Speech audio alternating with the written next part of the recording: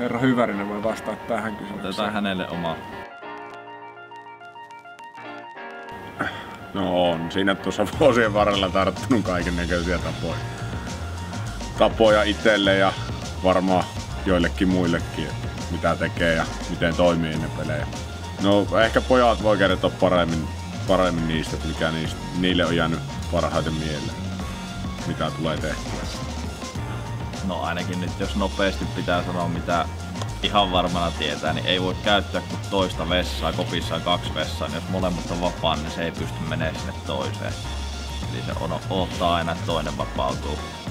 Sitten toinen, kun se lämmittelee tuolla takasuoralla, niin se hakkaa noita käytävän ovia tietyssä, tietyssä vaiheessa tietyn määrän, että se on aika sekaavaa välillä. Joo, ja sitten jos mennään jäälämmöille, niin siellä muutamat niinku tuon laidan mitalle niin syöttelee itselle laitaa vastaan ja menee eteenpäin. Ja nyt kun se on sen tehnyt, niin se odottaa sitä tiettyä pelaajaa, kenelle se syöttää sen kiekon ja kenellekään muulle sitä ei voi syöttää. Oot se taikausko? No en, olen vaan tottunut tekemään asiat samalla tavalla. Varmaan se nyt on pää, pääasiassa sitä taikauskoa ja sitten ihan hauskoja juttuja omasta mielestä.